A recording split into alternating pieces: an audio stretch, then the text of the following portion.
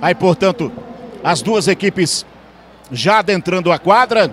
Nesse momento, as equipes de Atlético Juazeirense e Infante Atlético, que nesse momento têm suas esperanças depositadas nessa partida para fechar com chave de ouro essa competição, que é, como eu disse, parte das comemorações dos 108 anos de emancipação da cidade de Juazeiro do Norte.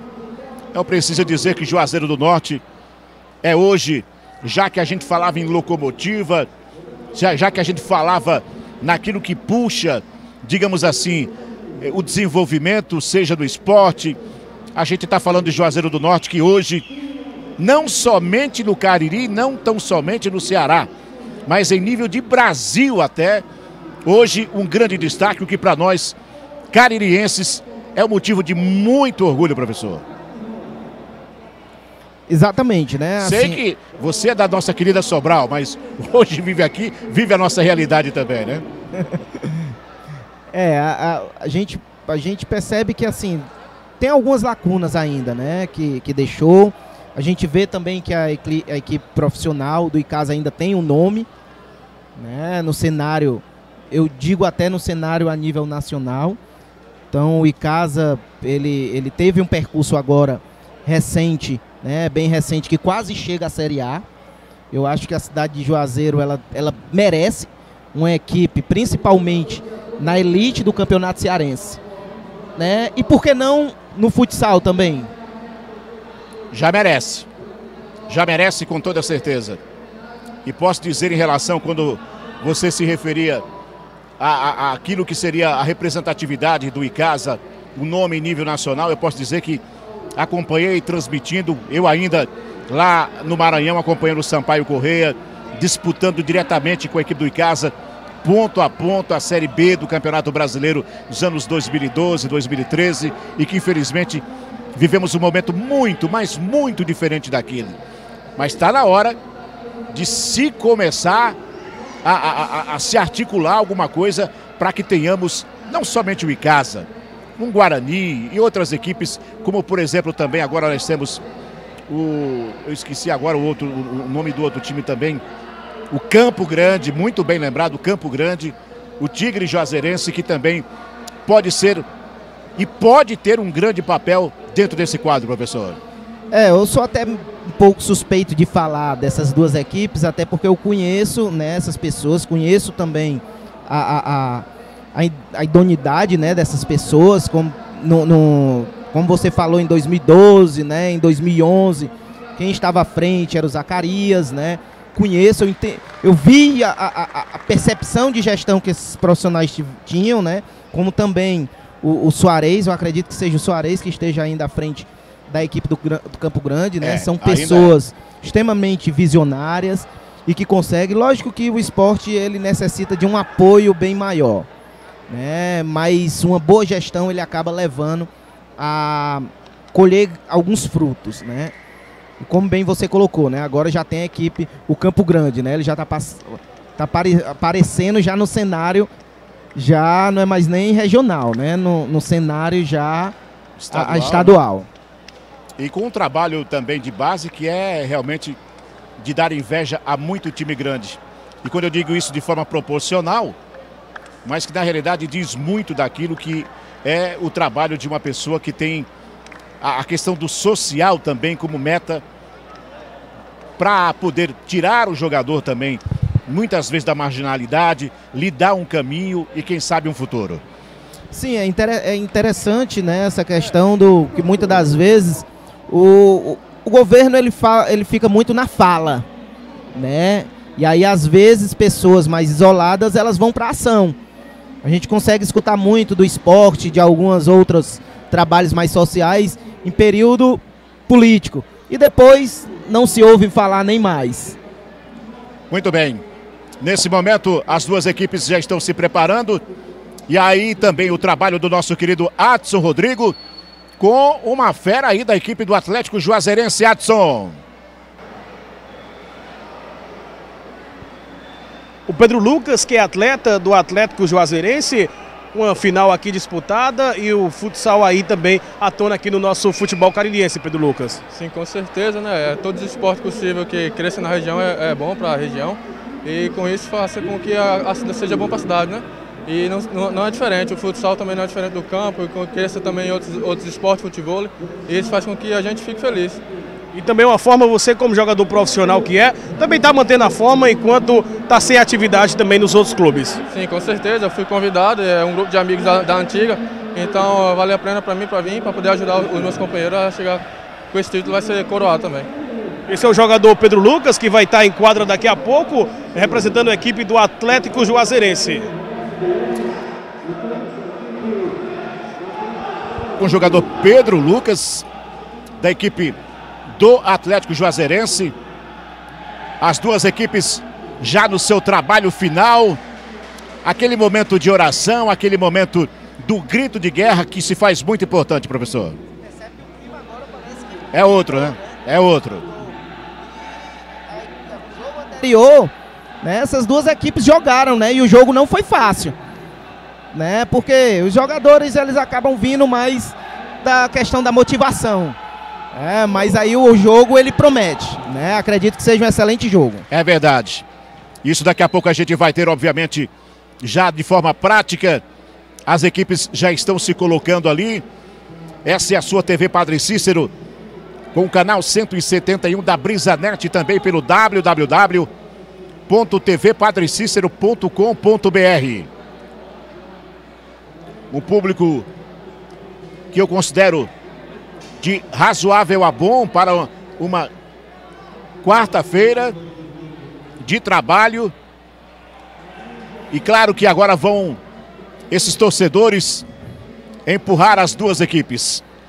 Olha Você só, vê aí Pois não, professor. Olha só, Lon, fazia um bom tempo, né? Embora o ginásio não esteja lotado, mas né, fazia um bom tempo que eu não via esse público no ginásio, né, para assistir um jogo de futsal aqui. Eu parabenizar mais uma vez ao professor Gilberto, né, e frisar mais uma vez que olhe mais para o esporte de Juazeiro do Norte, né, que o esporte ele nasce na escola. Se a escola não tem incentivo, esses atletas eles não vão aparecer, porque a formação do atleta ele tem que surgir na infância. O acervo motor tem que ser na infância. E onde esses meninos estão? Na escola. Muito bem. Adson Rodrigo, antes de começar a partida. Aí, portanto. Estou aqui ao lado do goleiro João Paulo, da equipe do Infante. João Paulo, uma final aí que promete ser muito disputada e com muitas emoções. Com certeza, a gente está batalhando durante o campeonato, tivemos muitas dificuldades, passamos por várias equipes de qualidade Enfrentamos num momento uma boa equipe, bem montada, é, com um grande treinador, mas dentro da quadra, a raça, a superação e a força de vontade e a técnica prevalece. E é o que a gente pretende mostrar hoje aqui, entendeu? Agradeço a todos aqui que fazem presente, a prestigiar esse espetáculo aqui e venha cada vez mais para o esporte. O esporte é tudo, o esporte é vida, o esporte é tudo de bom. Esse é o goleiro João Paulo que já vai entrar em quadra para o início do jogo que promete muitas emoções dessa final. Muito bem, começa a decisão do campeonato ou do torneio 22 de julho. Infante Atlético Clube e Atlético Juazeirense, primeiros movimentos aqui no Poliesportivo de Juazeiro do Norte. Percebe, Solon, agora as linhas um pouco mais baixas da marcação do, da equipe de vermelho, que é a equipe de Atlético Juazeirense, eles estão marcando um pouco mais recuado. Então o jogo ele promete. Essa é a equipe do Infante. A presença do jogador que era o Luan. Recebeu agora com o Nanau. Atlético Juazeirense já pegando a pegada ali, um toque de bola do jogador que era o Niel. Aliás, era o Alessio, camisa 22.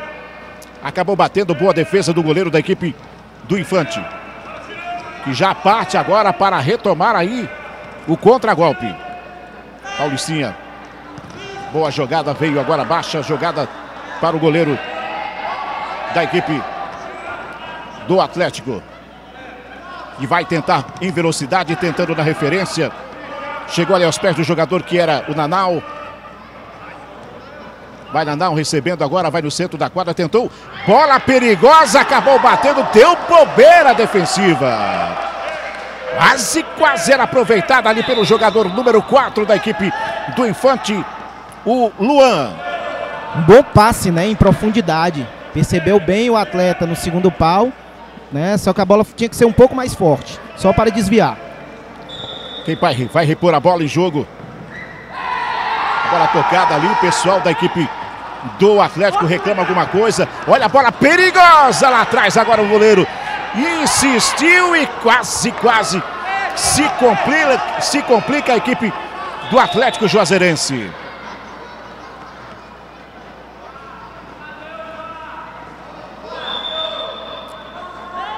Desmarca a saída de bola. Fundo quadra. Com a equipe do Infante já se mandando, recebendo por ali o jogador que é o número 10, o Romário. Esse é o Nanão que toca a bola. Busca a presença agora do Luan. Tentou botar na referência. Transfere a jogada. Que boa jogada. Que grande lance. Bola batida pelo jogador que era o número 8, Lucas, o Paulistinha.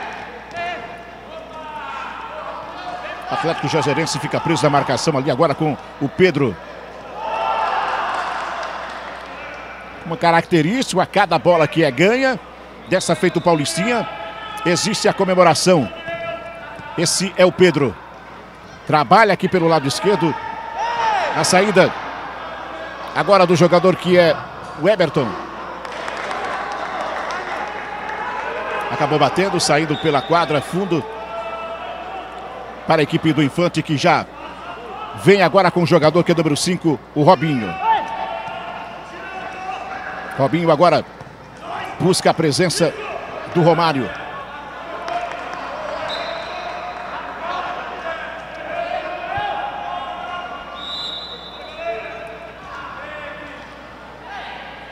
Esse é o Alessio. Ficou preso na marcação ali. A bola foi para fora. Reposição lateral que vai chegar aqui com os pés de Pedro. Tentou buscar ali o número 22. O Alessio. O Niel. Vem com calma mais uma vez trabalhando agora na transferência. Vem aqui para o centro da quadra. Vai trabalhar pelo lado esquerdo agora no corredor. O jogador que é número 4, Luan. Volta a jogada mais uma vez agora para o Robinho. Desta feita, busca o Romário. Tentou girar o corpo. Apareceu desarmando ali o jogador número 22, o Miel. A equipe do Infante ele tem dois jogadores que eu considero jogadores bastante fortes em relação na marcação. É o jogador número 5, que é o Robson, né, que é chamado também de Robinho, e o Romário, são jogadores. Só que o Romário é um jogador que se lança mais o ataque. E o Robinho ele é um jogador que joga mais fixo, né, que dá mais segurança. E é o que a gente vê agora. Ele tentava a jogada ali com o número 4, que era o Luan. O goleiro da equipe do Atlético Juazeirense veio para fazer a catada.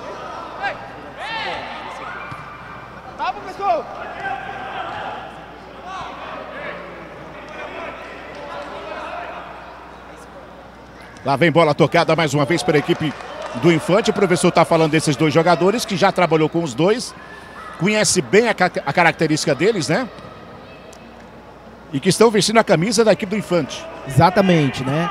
São jogadores, né? Principalmente esse que está com a bola agora, né? O Romário, ele pensa mais no jogo, né? O Robinho, ele é, um, ele é mais calado, mas os botes, eles são bem precisos. Mas parece né? um guarda-roupa também, o camarada. Por incrível Solon. Olha a descida perigosa agora do Atlético. Virou, bateu na trave! Uma pancada do jogador que era o Everton. Olha o contragolpe agora. Tentou girar o corpo, bateu. Chegou lá atrás agora. Niel para tirar o perigo. Por incrível que pareça, que o Robinho ele já tinha esse corpo com 15 anos de idade. E o 14, 15 anos de idade ele já tinha esse corpo, ele já era destaque, né, pelos meninos da idade dele.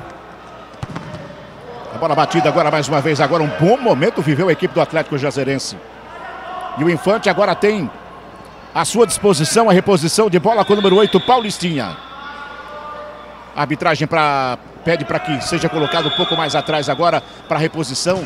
Boa jogada no toque de bola ali na chegada do jogador que era o número 10, Romário. sem direção, subiu demais. Fundo de bola quadra.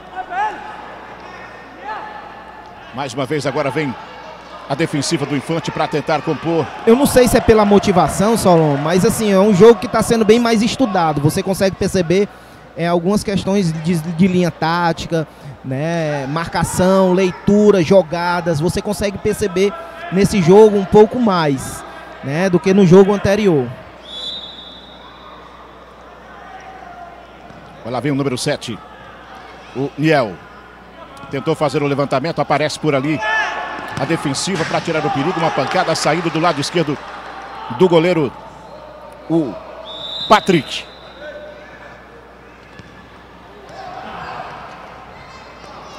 Lá pela ala direita, buscando a descida, o jogador número 4, o Pedro. A saída de bola pertence à equipe do Infante. Por enquanto, 0 a 0. Primeiro período. Tentou lá pelo corredor esquerdo. Gol!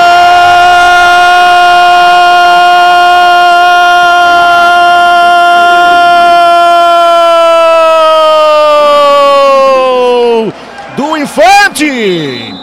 Paulistinha. O número 8 buscou o lado esquerdo, o que seria o menos provável, porque ele estava meio que travado ali no fechamento também, com dois jogadores à sua frente. Ele bateu, ele explodiu no travessão e caprichosamente foi para a linha de fundo, ou seja, para o fundo das redes. Agora, do goleiro Patrick. Um para a equipe do Infante, zero para a equipe do Atlético Juazeirense, professor. Um chute seco, né? Que bateu lá que o goleiro ficou só observando. Outro lance aí. Novamente descendo perigosamente. A equipe do Infante. Paulistinho, autor do gol. Nesse primeiro período. Vai ter que correr agora a equipe do, do Atlético Juazeirense que ganha, se manda para o campo agora. Chegou o Robinho. No pé de ferro, botou a bola para fora. Bem, a equipe que está ganhando o jogo é a equipe que está propondo mais o jogo, né? Estavam marcando mais em linhas altas, né? Que a gente no futsal a gente tem linhas, né? Linhas mais altas e linhas mais baixas para marcação. Uma linha normalmente no começo do jogo a gente marca mais umas linhas mais baixas, que é o que propõe o jogo do Atlético Juazeirense, são linhas mais baixas, você percebe que quando eles pegam a bola já há um recuo, é uma marcação mais meia quadra, que poderia ser uma linha 3, né, que a gente chama. Olha a descida novamente perigosa ali, o Paulistinha. Tá fazendo uma festa ali pelo setor esquerdo, tá fazendo ali daquele lado ali o seu salão de festas, professor. Ele prefere tocar aqui atrás, recua bem a jogada. Tem apenas 4 segundos para se livrar da bola. Já tentou experimentar, sem direção. É aplaudido pelos seus companheiros, principalmente pelo Paulistinha. O Patrick agora, goleiro vai botar velocidade, tentando fazer ali a ligação com o Pedro. Não deu para ele. 1 a 0 vai vencendo a equipe do Infante Atlético Clube. Gol do Paulistinha. É esse aí que você vê na sua tela. Ele vai para cima dos dois agora, preferiu tocar para Romário. Voltou a jogada aqui para trabalhar novamente com o jogador que é o Luan. Houve a marcação da falta, o juiz disse que houve o esbarrão. Concorda, professor? Sim, sim, você percebe que ele utiliza a mão, né, para proteger e para impedir o atleta pegar a bola. É, então, acredito que o placar esteja justo no, no momento, porque o Infante é que está propondo o jogo, está marcando linhas mais altas, indo para cima. Já o Juazeirense está querendo ainda estudar o jogo, entender. Tá uma, uma linha mais meia quadra, né? Que a gente chama linha 3, que é Olha é uma linha no meio da quadra. Olha o Romário para batida, dois homens na barragem. Bateu no costado ali do jogador que era o 22, o Niel. Prefere novamente tocar para frente agora, ficou preso na marcação. Olha a bola batida agora na chegada do Romário. São dois da sua marcação no braço do jogador 22 ali, o Niel adianta reclamar que foi no braço. Ele tenta alegar ali que a bola bateu no, no, no, mais no ombro, mas foi mais no braço, não, professor? Pelo movimento que ele fez aí, aparentemente, de onde a gente está aqui, né, percebe-se que parece que a bola bateu no braço, né? Mas às vezes a gente abre o braço para tentar manter um equilíbrio com, entre o é, com o corpo e a bola. Mas assume o risco, melhor. né? Mas sim, assume o risco, sim, né? até porque muitas das vezes o árbitro ele marca pelo simples gesto. Olha né? o Romário. Voltou bola novamente para o campo de ataque. Agora Robinho foi para a bola. Acabou perdendo a jogada. Reposição da equipe do Atlético Juazeirense, que por enquanto vai perdendo com o gol desse aí, o Paulistinha.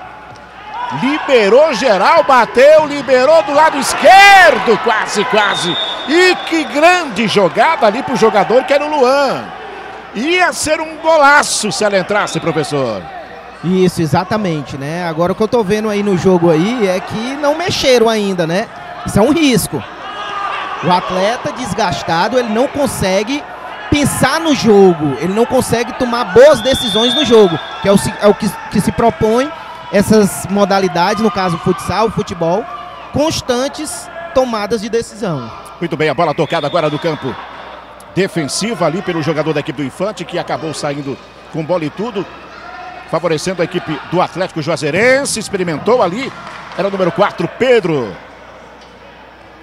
Batia em alguém, segundo a arbitragem. Canto bola para reposição agora pelo jogador número 7, o Weberton, o Niel. Quis mandou voltar.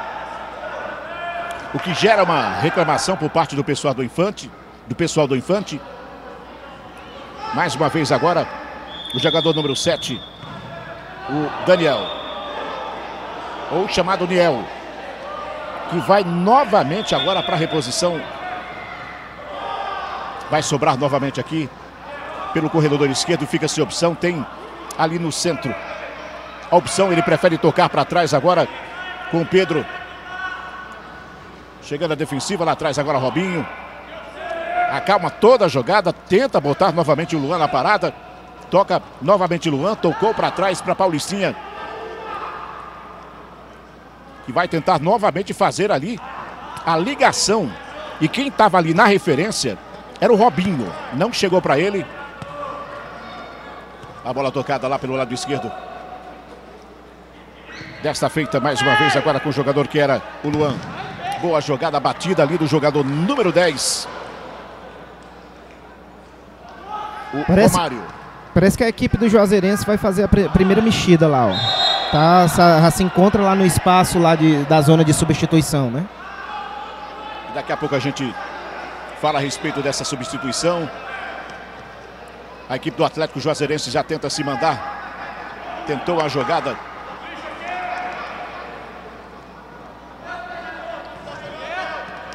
Era o 22. Perdeu, agora são três contra dois, meu amigo. Lá pelo lado esquerdo, a defensiva. O goleirão da equipe do Infante o Walter foi decisivo nessa jogada. Mas o Atlético é quem se manda. Tocou para Paulistinha, tentou fazer o giro. Ficou sem espaço melhor agora para o Patrick. Eu acho que já tá na hora das equipes mexer. Né? Os atletas eles já não estão conseguindo mais, faltando um pouco de perna, eles têm que se recuperarem, né? Esta é a TV Padre Cícero. A TV do Cariri Cearense. Na decisão do torneio 22 de julho. 108 anos de emancipação da cidade de Juazeiro do Norte. Por enquanto vai dando infante nesse primeiro período, 1 a 0. Gol de Paulistinha em cima do Atlético Juazeirense. Fez agora sua primeira substituição, Juazeirense.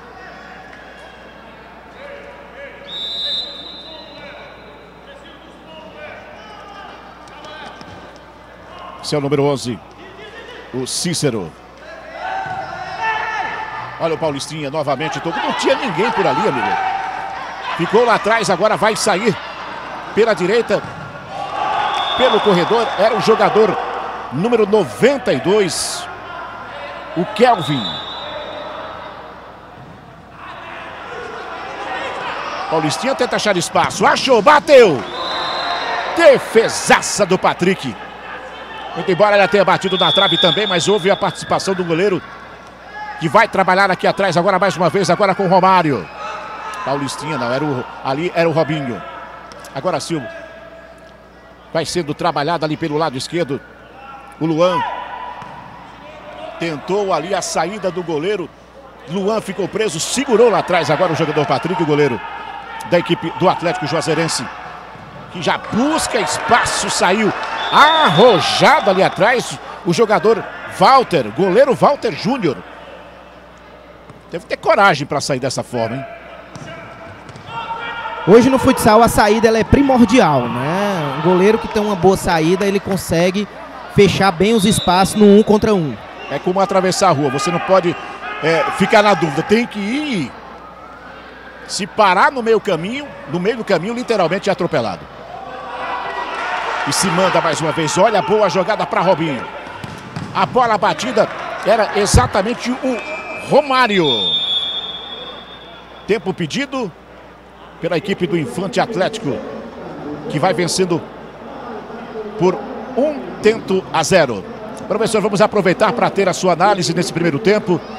O Infante vencendo a equipe do Atlético Juazeirense na decisão do torneio 22 de julho. Ó, é uma equipe que propõe mais o jogo, marca nas linhas mais em cima é, é, é, quando eu falo em linhas, é que a gente divide a quadra normalmente em cinco, às vezes tem técnico que divide a quadra em quatro linhas. Né? Então linhas mais à frente são linhas mais no campo adversário. E linhas mais baixas são linhas mais na sua quadra. E eu vejo o Infante com essa.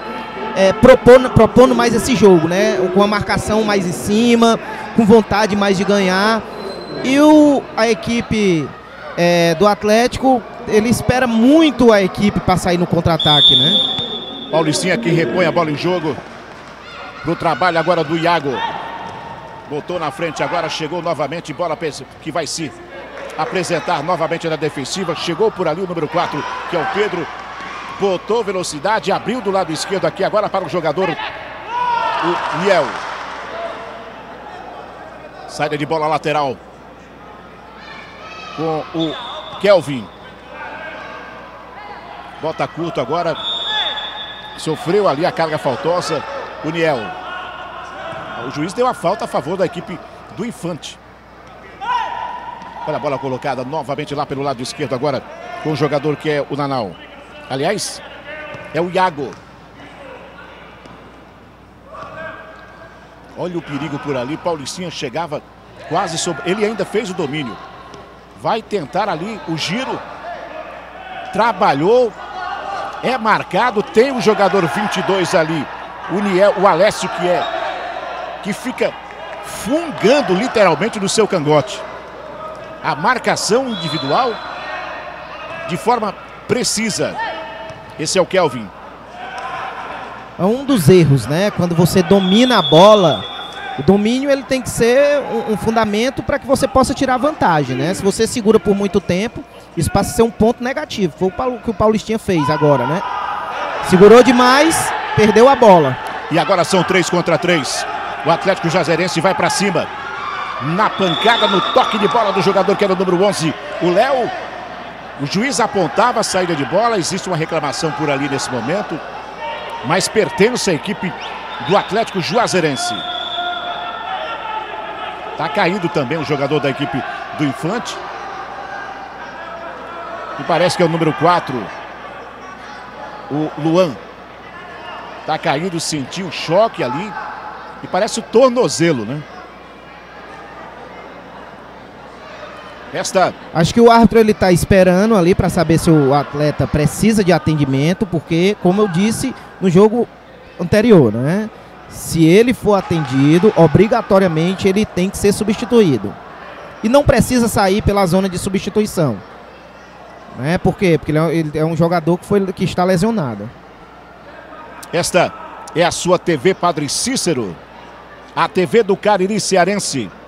Na final do torneio 22 de julho, 108 anos de emancipação. Está sendo atendido ainda ali. O jogador de número 4, Acho que não vai dar para ele não, hein?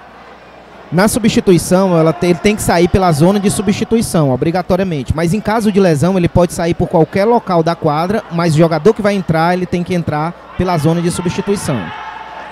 E a mas regra parece, é bem clara: se houver substituição que... errada, tem que ser amarelo. E parece que ele tem uma situação ali realmente de, de, de preocupação quanto ao seu tornozelo. Está tirando o tênis agora. Vamos ver qual vai ser a situação do jogador número 4, o Luan. Esquinado, bola para a equipe do Atlético Juazeirense. Tentou bater ali na referência, chegou. Passou pela marcação do jogador que era o número 18. O, agora sim o Nanau enquadra. Chegando aí o Robinho. Tentou na referência, chegou por ali, ficou fácil. Uma pancada e o toque do goleiro, número 12. O Walter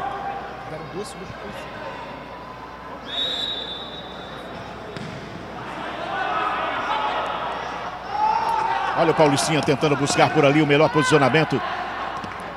Agora é o contragolpe. O Léo acabou atropelando ali o Paulistinha.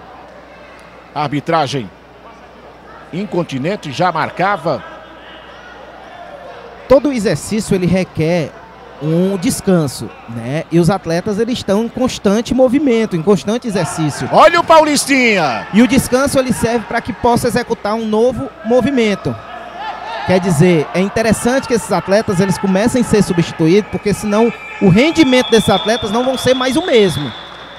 E termina nesse momento o primeiro tempo, o primeiro período de por enquanto Infanto, o Infante 1, Atlético Juazeirense 0 na decisão do torneio 22 de julho.